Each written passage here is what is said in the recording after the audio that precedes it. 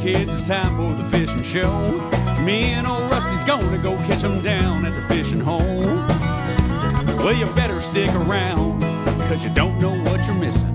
Yeah, me and old Rusty's got that fishing affliction.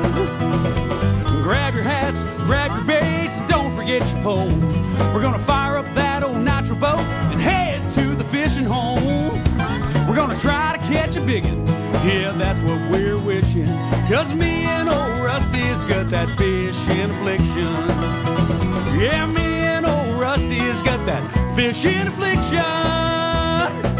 Yeah. Man, and we've got it bad. Well, good morning. Quarter after four in the morning. We can only be doing one thing. We can only be taping Fishing Affliction. We're on our way this morning time to Tim's Ford, we being Catfish and I. And we're going to meet Mr. Rusty Rust this morning down in, oh, outside of Nashville. And we're on our way for a day on Tim's Ford. So I am looking forward to it. This is another lake that I've never fished here in the beautiful state of Tennessee. And my, my understanding is today we're after smallmouth. So a dear friend of ours, Patrick, who we met on the first show, he sent us some pictures of his day down there and it enticed us to go on and try to catch him. So that's what we're gonna do. So glad you're here. Join Rusty, Catfish, and myself on a day at Tim's Ford. Well, folks, that was the plan. A day on Tim's Ford catching some big old smallmouth for fishing affliction. But you know, it don't always happen that way. Because the fact of the matter is, sometimes the fishing is tough. And that's what today's theme is, folks. Tough but fun. And today we're going to show you two trips, one to Tim's Ford and one to Guntersville, where we've gone over 500 miles to catch six fish total. That's right, folks, six fish. And when you're in the boat with somebody like Rusty Rust who knows how to catch those fish, when he tells you it's tough, by gosh, it's tough. Now, I've got a solution for these tough but fun times at the end of this episode. But first, let's bust through the ice at Tim's Ford and see what kind of day we had that was tough but fun on Tim's Ford. Let me tell you something. You know it's cold when. Wow. Ice. Well, as you can see, we're breaking ice on Tim's Ford, and it's cold 22 degrees. And if that's not tough enough, not only did we have to contend with the weather, but how about a broken trolling motor? You see how this is, folks? Take a look at that in front. We got no trolling motor, and he's up there fishing, looking at my tackle, telling me to go look in the battery. Now, the big dog rather fish than fix his trolling motor. But I wanted to fish too, so we took it apart, we fixed it, and didn't put it back together. Well, folks, here, here's the final result. Russ, you ain't gonna even put the top on it. I ain't putting the top on it. I'm fishing. I'm fishing. These daggum fish have been breaking out. Oh my gosh. That's wanting to fish right there, buddy. I am not worried about it.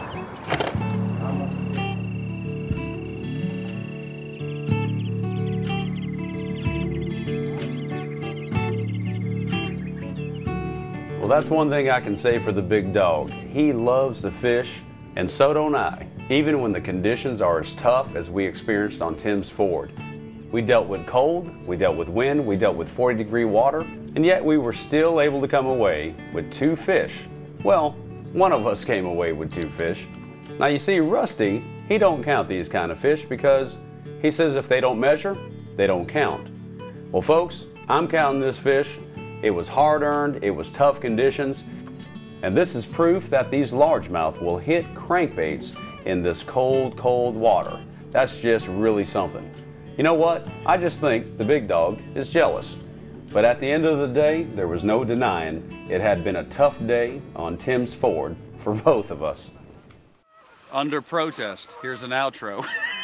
Under protest. This is under protest. Now, look, the bottom line is there are days that just stomp on you. Am I correct?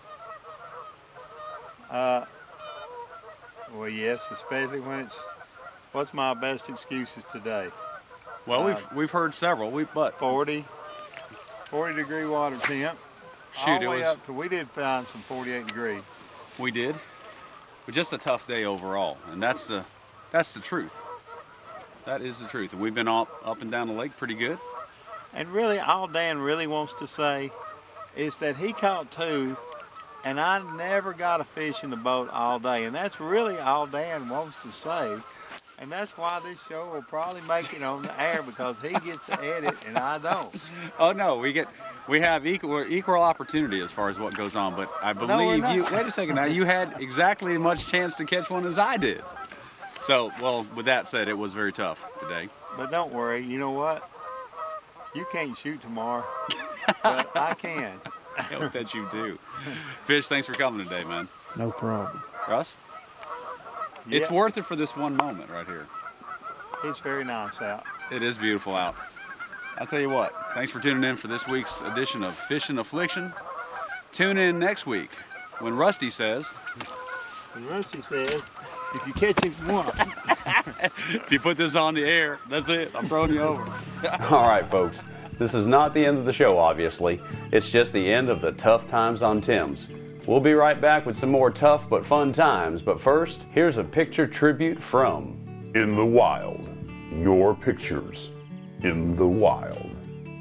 Folks, today Fishing Affliction gets to honor a loved one from the family. So many of us have such great memories of loved ones that have gone on to be with the Lord, and some of those great memories include fishing. Here's one of those great memories of Mr. Charles Gabbard with a big old catfish. What a wonderful way to be remembered a big smile and a big old fish. We send our love and prayers to the family, and a little bit later in this episode, you're going to get to meet one of those family members, Fishin' Affliction pro staffer Bob Rogers. What a great picture of Mr. Charles Gabbard, and we'd like to thank the family for sending it to us. Folks, if you have any pictures of you, your family, your friends, your loved ones that you'd like to see here on Fishin' Affliction TV or on the website, please send them to pics at fishandaffliction.com and maybe we can see those pics right here on In the Wild. Your pictures in the wild.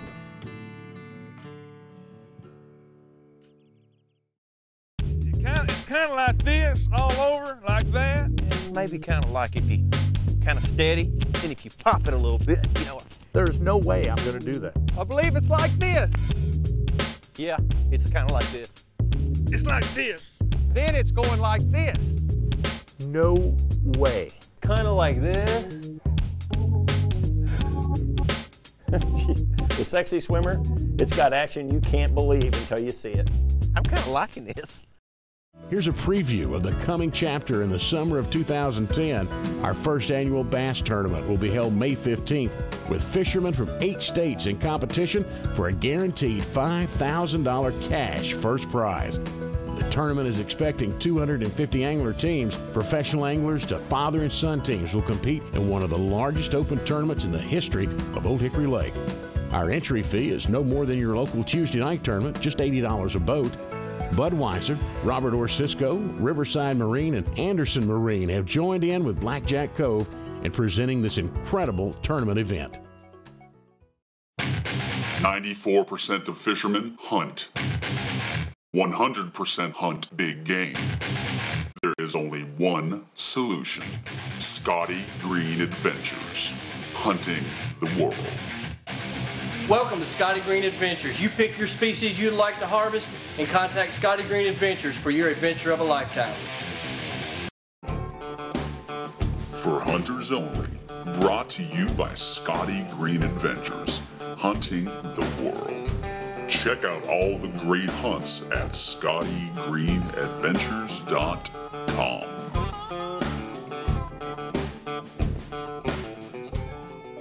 Folks, today we are with Scotty Green and his son Bailey. And Scotty, you told me that you guys are getting ready for turkey season.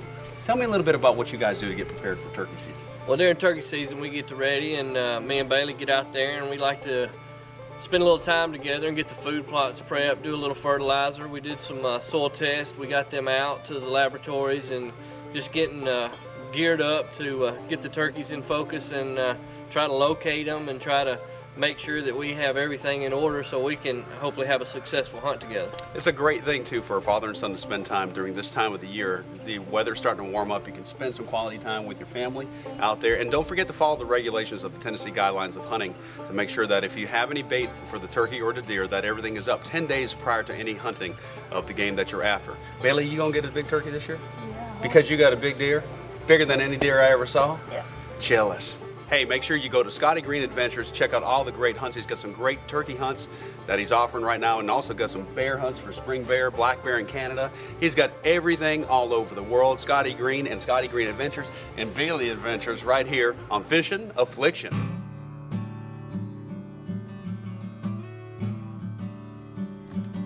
Well, after that tough trip down to Tim's Ford, we thought we'd head on down to Alabama to Lake Guntersville for some better conditions and some better fishing. Well, little did we know about the best thing that we'd see that day was this beautiful sunrise. The conditions were tough, tough, and more tough. We had a frozen drain plug hole in Rusty's boat, so we couldn't put the plug in until that thawed. And then there was ice on the ramp going down to the water. I thought for sure we'd wait, but the big dog had other plans and had his own method to launch this boat. Check this out.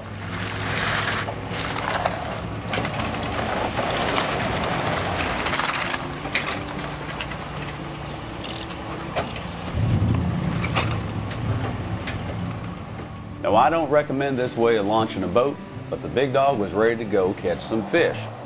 And today was kind of a special day for us because we had Rusty's son, Luke, in the boat with us.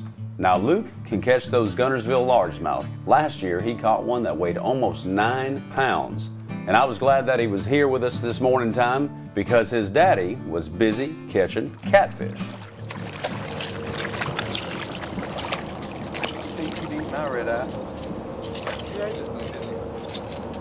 Yeah, he ate that thing. He thought it was real. Figured you hung him in the back in the shallow water. Yeah, I wouldn't mind putting that catfish in my farm pond. Your farm pond's probably solid right now. No, it ain't. Believe it or not, it's got bass in it right now. now. Does it really? Yeah. What'd you say about that red eye?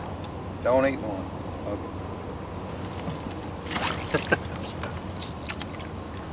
Mr. Catfish, my first fish of the day. Rusty Rust, the catfish king. I don't think that was very nice, Luke. This is a multi-species show.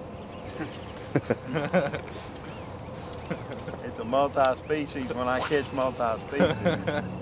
Well, the next time I catch a fish that ain't a largemouth or a smallmouth or a spotted bass, I'm going to remind the big dog about his rule.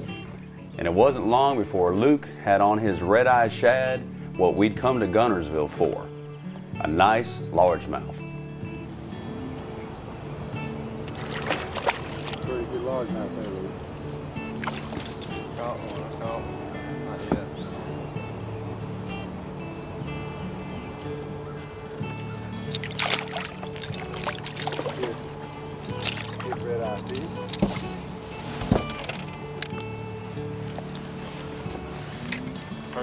Chunk of the day.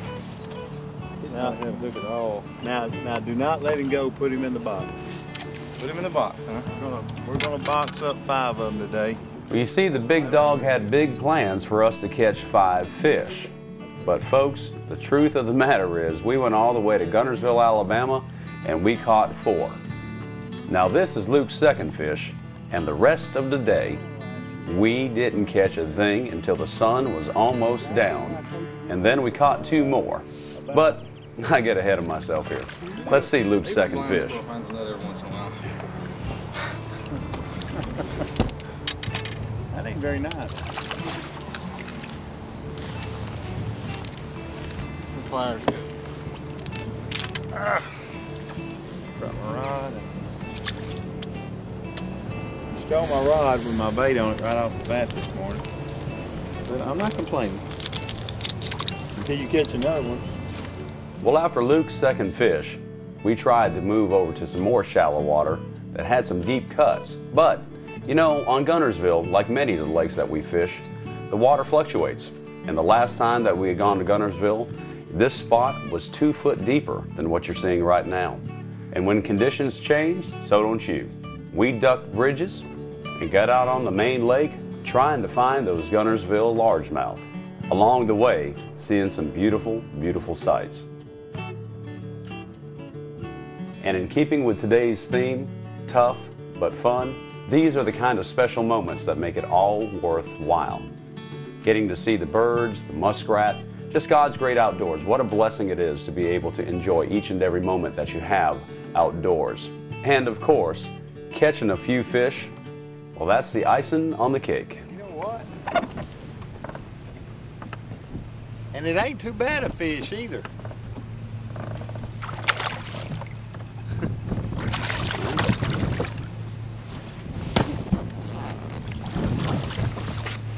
Get in here. God, you have no clue how hard this fish was to catch today.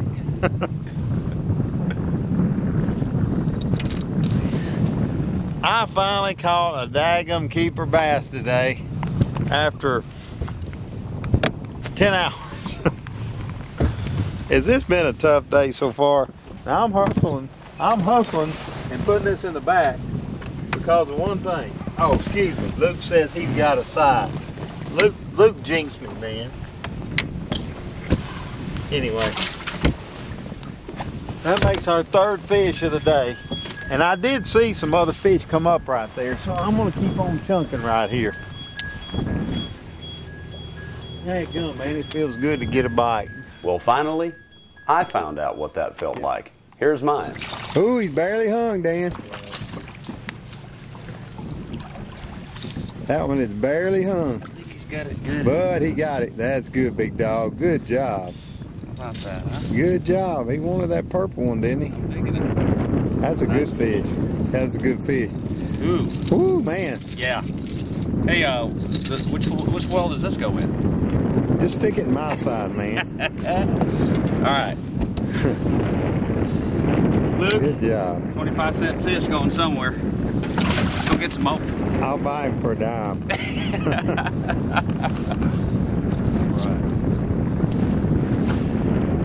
Good job, man. I'm gonna tell you what. If our viewers knew how hard we fished from daylight to dark Brother. today, That sun is just barely, barely over the top of that mountain. maybe we catch another one in here, man. I told you I saw them group up a minute ago. Sure did. Let's go get. Well, folks, 11 hours, 132 miles, and four Guntersville largemouth, and the sun is going down. And we're not even on our way back home to Nashville yet. And I wouldn't trade it for one moment. And Luke and Rusty, well, they had a score to settle. Nice fish. Well, we're gonna hold these up and we're gonna let them go. right. We're gonna let them go. We're coming in, and I'm gonna tell you guys, this this was a a really really tough day on Guntersville, but we're gonna let these go right now. Oh, man. I'm gonna tell you what. That's as tough a day as I've seen out here in a while. 45, 46 degree temperature, man. I am ready for spring.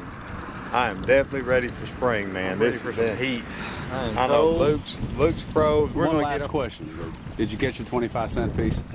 I did. I did.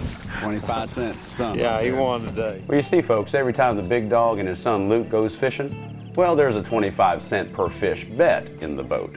And today, Luke collected his money. He caught two fish, Rusty caught one, he got his 25 cents. Well, what a beautiful, beautiful day on Guntersville. Tough, but fun. And since we released those four Guntersville largemouth, let's see what Miss Vicki Porter is going to be cooking in the skillet. I bet you today it's not going to be fish. In the Skillet with Chef Vicki Porter is brought to you by Cleepy.com, turning your precious memories into video treasures. Welcome to In the Skillet. I'm Vicki Porter and today I'll be showing you an easy way to cook a spaghetti squash. This method came straight from the secret archive files of Mama J and it is so simple. You just take a fork, poke holes in the squash and then we're going to stick it in the microwave for 15 minutes.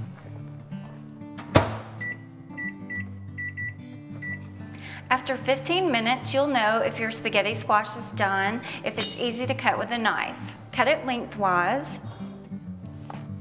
Now scoop out the seeds.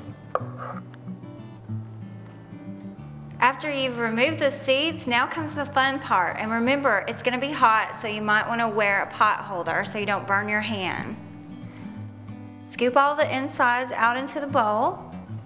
Now you've scooped out all the insides of the squash and there's only two more ingredients to add. A stick of butter and a big pile of Parmesan cheese. Mix it all together. Once the butter and cheese is melted, then this is ready to eat. This is a great side dish that your family will love. You can find this recipe number four on fishandaffliction.com.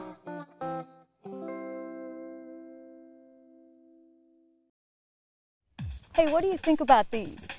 Shaw Grigsby likes these, but Denny Brauer looks awesome in these. You know, a lot of people don't know that Strike King is the number one importer of packaged polarized sunglasses in the whole entire country. I've seen Mark Davis wear these, and I like them a lot. They're awesome. But you know what? Me, I have got to have my monsters.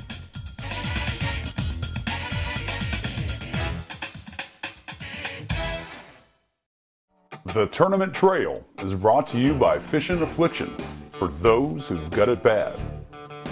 Folks, here's the results of Flipper's first Sunday morning tournament of the year on March 14, 2010.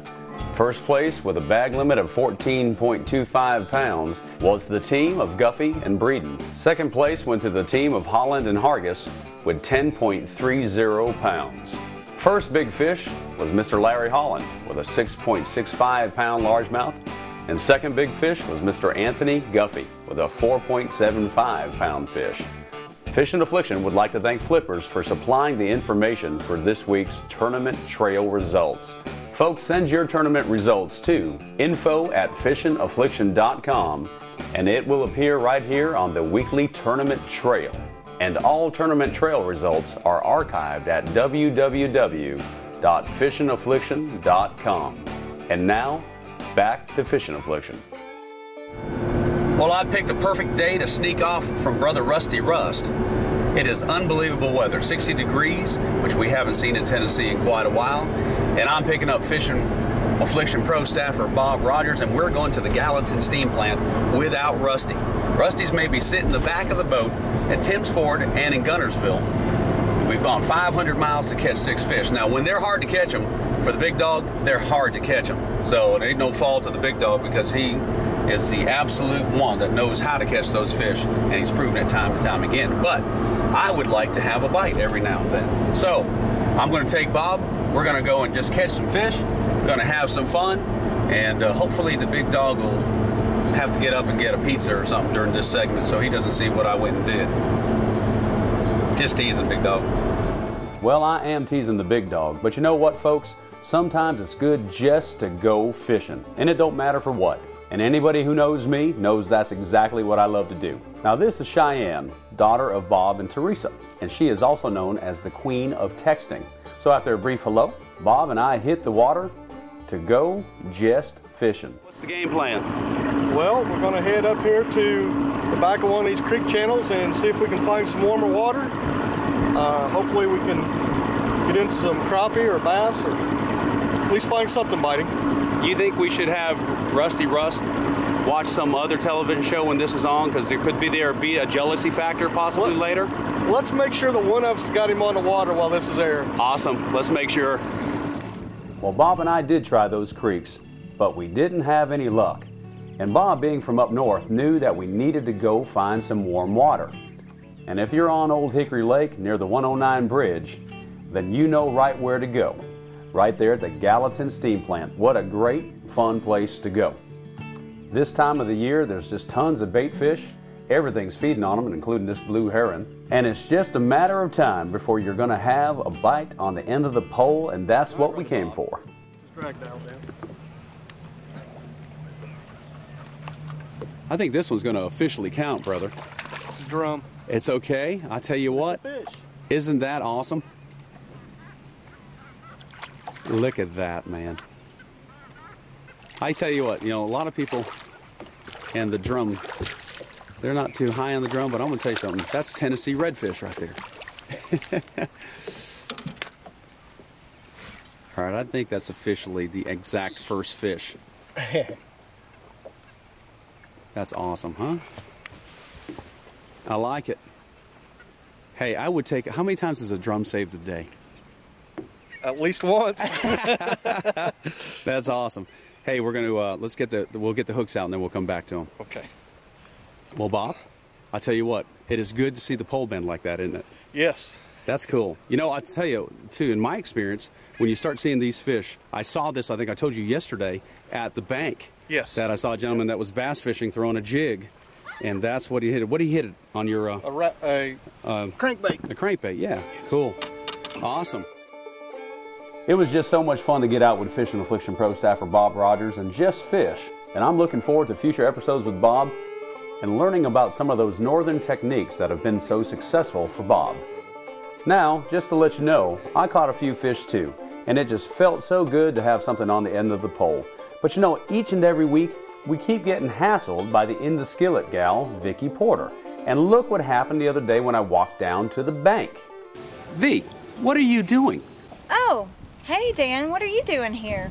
I was just down here fishing trying to catch something for my segment in the skillet. You know, 'cause you and Rusty haven't been bringing me any fish lately, so somebody's got to do it. And you know, this is my spot. Why are you here? Go find your own. Can you believe it? Getting kicked out of a fishing spot by the in the skillet gal. Well, tune in next week and let's see what we catch on Fishing Affliction.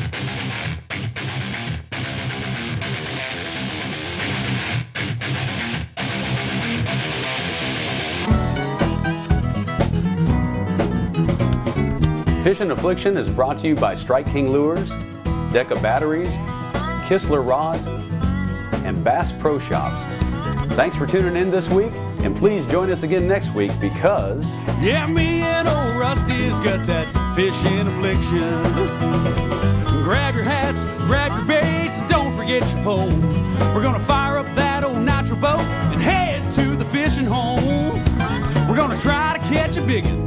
Yeah, that's what we're wishing. Cause me and old Rusty's got that fishing affliction. Yeah, me and old Rusty's got that fishing affliction. Yeah. Man, and we've got it bad.